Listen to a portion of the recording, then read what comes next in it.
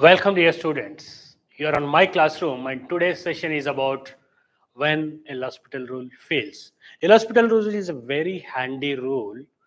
Many problems you get them simplified using this rule, but sometimes it fails. Let us see when.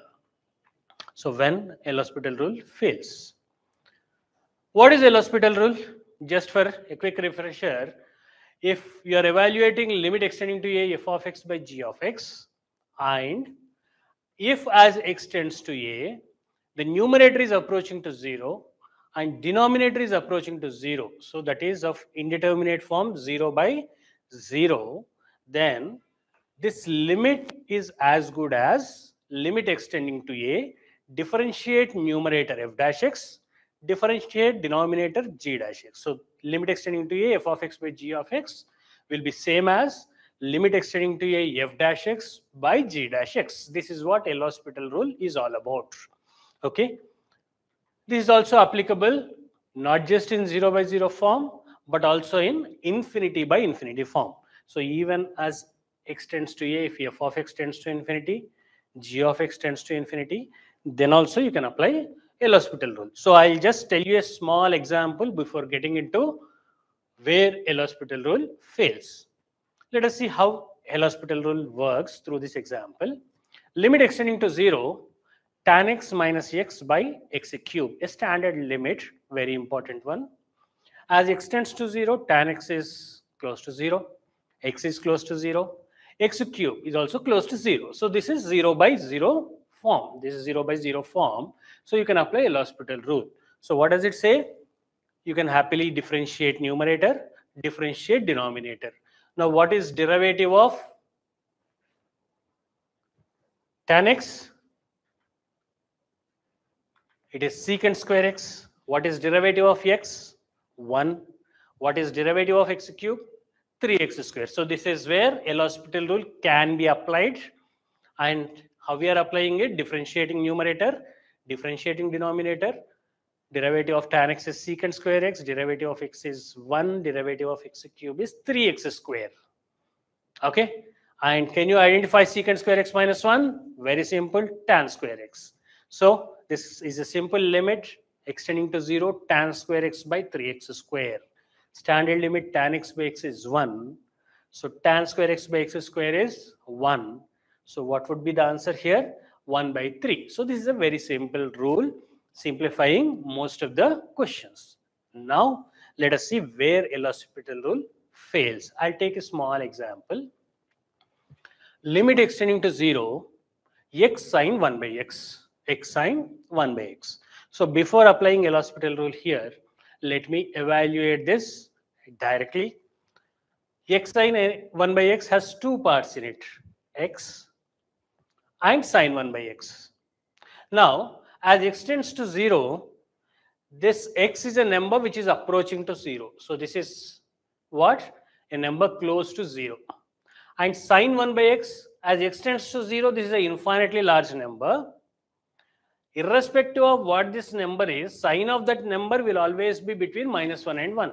So sine of any number will be between minus 1 and 1. This is between minus 1 and 1. We call it bounded.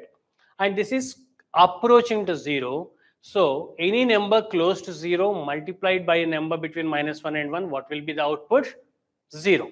So this limit exists and is how much? 0. So there is absolutely clarity with this. Now how to apply L'Hospital rule here? This is not 0 by 0 form or infinity by infinity form. So for that, what I will do is, I'll just multiply and divide by x. I'll multiply numerator and denominator by x. So what will this limit convert to?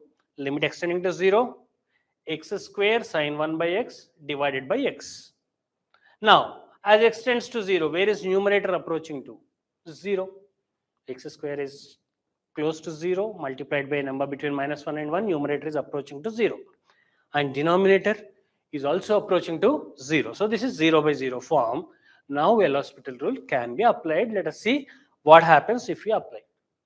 So how to apply L'Hospital rule here? Differentiate numerator and differentiate denominator. Denominator derivative is 1, simple. And numerator x square sine 1 by x. You can apply product rule here, UV rule. x square is one function, sine 1 by x is another function. First function x square multiplied by derivative of second function cos 1 by x into minus 1 by x square plus sine 1 by x into derivative of x square is 2x. So this is the derivative of numerator. Now how to evaluate this limit?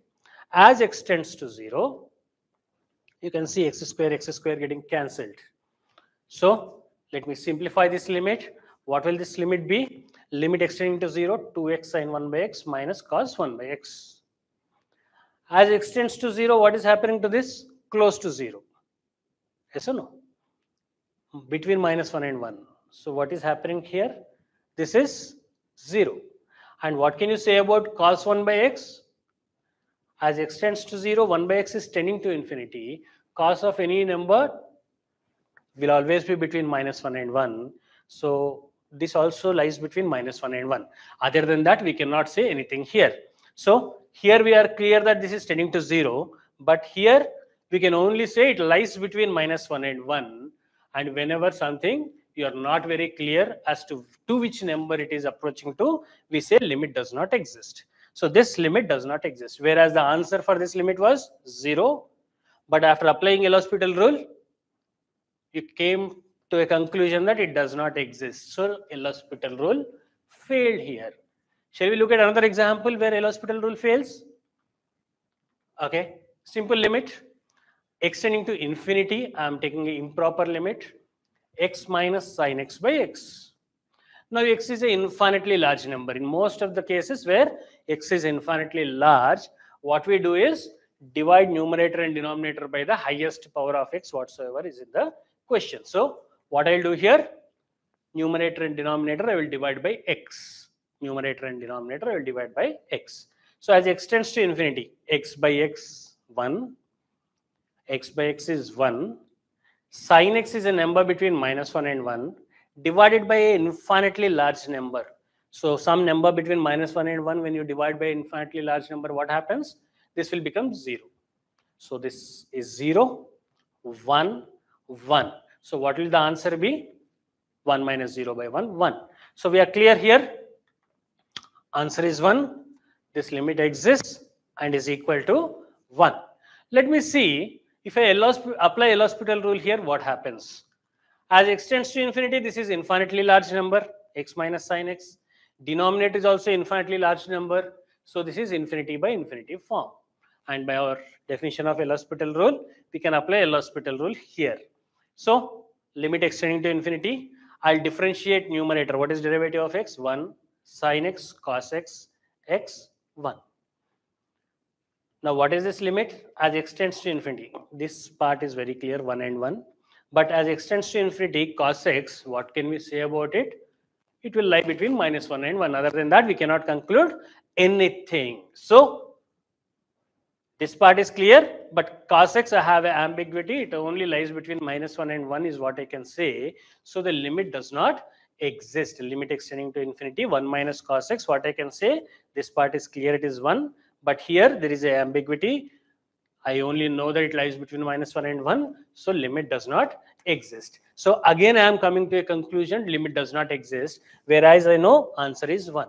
So this is again where L'Hospital rule has failed us. So why is this happening?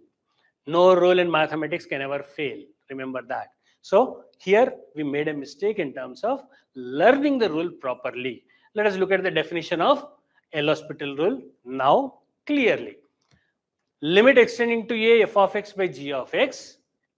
If it is on of an indeterminate form 0 by 0, then limit extending to a f of x by g of x will be equal to limit extending to a f dash x by g dash x only if these conditions are there remember those conditions only if this limit exists this limit exists only when this limit exists that is what L'Hospital rule incomplete says this can be applied only when limit extending to a f dash x by g dash x exists. So in the previous examples, what was happening? This limit was not existing. So that is the reason we were not able to apply the L'Hospital rule and that was giving us wrong results. So L'Hospital rule should be applied only when this limit exists.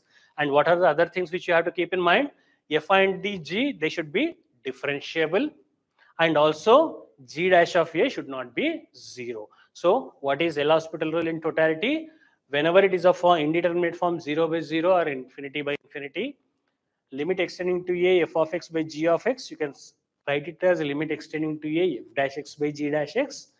If and only if, only when limit extending to a f dash x by g dash x exists and these functions are both differentiable in the neighborhood of a and also denominator is not becoming zero. So whenever you are learning definitions in mathematics, learn them in a perfect way and only then you will not be committing any mistake. So in next session, we will come out with some other very important concept and misconcept in calculus and through next four weeks, we will crack the complete differential calculus part.